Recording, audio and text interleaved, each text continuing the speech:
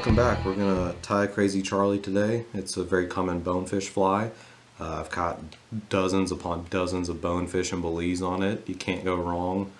Um, so you're going to get your size 6 hook. You can go size 8 uh, down to a size 10. It doesn't really matter. Bonefish are they're pretty small in Belize. So if you're going somewhere like Hawaii, um, the Bahamas, you may be able to tie something a little bit bigger for them. But if you're going to Belize, size 6 is great. Again, I'm using the Daiichi, uh, my 2546. It's, uh, it's my favorite hook for pretty much everything. Um, for this, you're, you're going to need the hook, of course. Um, you're going to need a little bit of this uh, braid, the uh, polar braid. Um, you're going to get some flash. You're going to have some craft fur. And again, you can tie this with bead chain eyes or you can use dumbbell eyes. Uh, I like to use bead chain eyes on this just because normally when you're casting to bonefish, it's in fairly shallow water. But remember, if you're uh, going to Belize during the hot parts of the day when the tide goes out, uh, some of the bonefish are trolling the flats, but a lot of them are actually in the channels and so you're going to want something that sinks pretty good. So make sure you tie you know a couple with you know some good uh, dumbbell eyes on it so that you can sink it down there and, and catch a few off the bottom there. It's it's a lot of fun. Uh, it does feel like cheating but because you're just sitting there pulling them out one after the other. So first thing you're going to do is come up to about a quarter of the hook. You don't have to wrap all the way back. You're going to get your bead chain eyes and you're going to capture them onto the hook.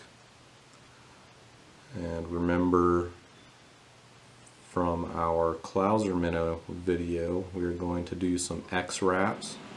Then we're going to do some figure eights. And then we're going to go under both sides of it and finish it up with some over wraps Now this is a very simple fly and you know less is more. Um, whenever you get to the end of it I'll show you um, one nice thing to add to it. So you don't have to add this part. There's several variations of this. I'll I'll probably go back and do a few videos on this fly because you can do so much with it. Uh, today I'm, I'm going to show you with the braid what that looks like. So I like to keep the braid uniform across the hook. So I will actually wrap it all the way up to the eyes.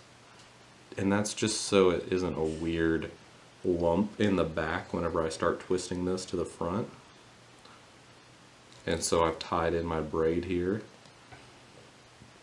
And uh, I'm going to go ahead and turn the fly upside down. And I'm going to start wrapping this towards the front. Uh, you want this to be semi-tight. Um, you don't want it to be able to uh, move around too much uh, whenever you're whenever you're fishing it, it will uh, it will start to move on you. And so I'm going to wrap it around the eyes of the hook and then I'm going to capture it right here in front of the eyes. And so now that we've got it captured really well we're going to cut it carefully. Always try to cut away from your fly line. Try to pull whatever you're cutting to the other side of the hook. So we're gonna put a few tight wraps on here make sure that's all good to go.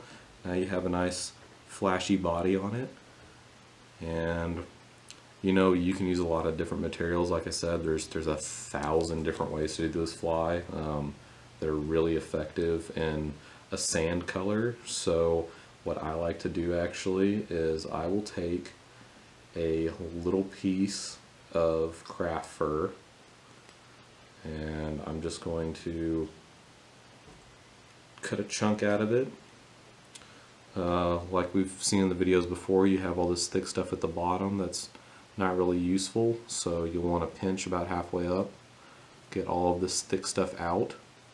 You can get all this thick stuff out. You're not tying useless crap in there. And then you want to look at the longer things. You see how short the hook is. You can't have a whole bunch of long stuff in here either. So we'll take that out as well.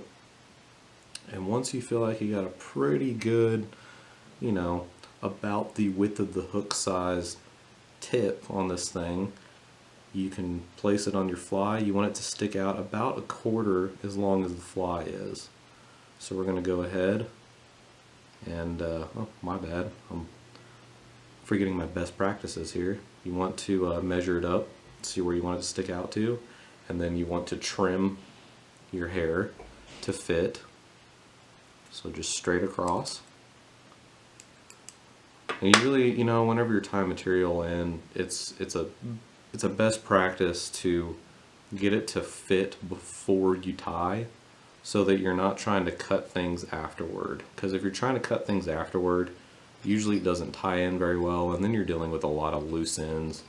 It does not help you. So now I've, I've tied all this in. There's, there's going to be a little bit of hair that comes out of this. That's just the nature of, of craft fur. So I'm going to whip finish this guy.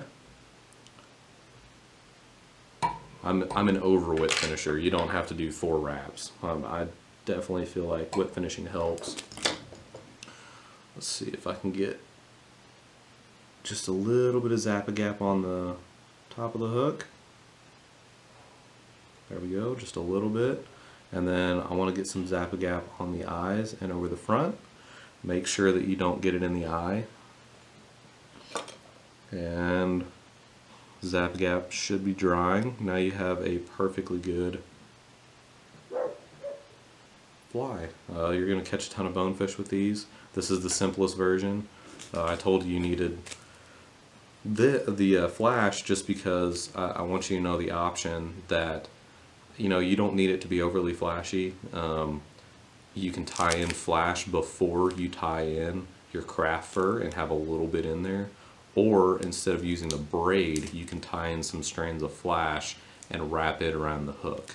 So that's why I want you to know that that's an option. It makes it a little bit easier to tie this fly if you don't have the braid or if you don't have the flash you can use the braid. So it's a really simple fly, very effective in Belize. Uh, give it a try. I mean I've actually caught a few few fish in the Texas Gulf with one of these so it's it's a very versatile fly and everyone should have it in their box.